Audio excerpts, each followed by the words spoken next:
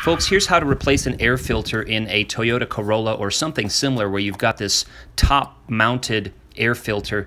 You've got to take that top nut off, as you can see me doing with one hand as I hold the recording device. Place that somewhere where you can find it. Don't lose those top washers and the top nut. And then there's some sort of clamp like I've got here that usually are in several places around the air, air filter.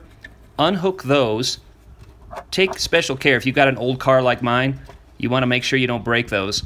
You take off the old, and there's a notch, as you can see here on the right side, there's a notch where it, it indicates where it's going to go when you put the new one on. Basically, you slide that out.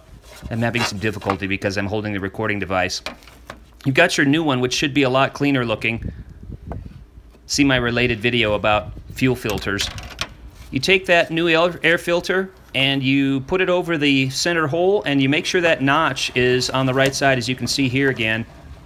Make sure that notch is in the same position.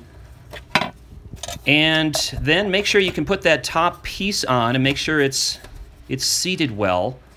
And then it's a matter of clamping once again those clamps that you had in my case on three sides.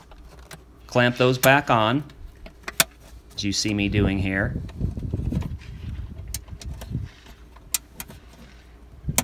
With one hand.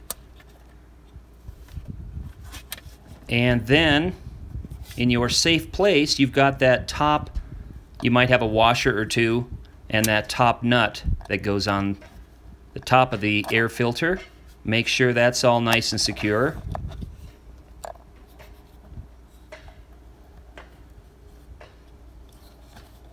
And if the air filter is offset, this won't clamp down or secure on the top. So if it's not secure, go back in there and make sure your air, air filter is on correctly. That's it.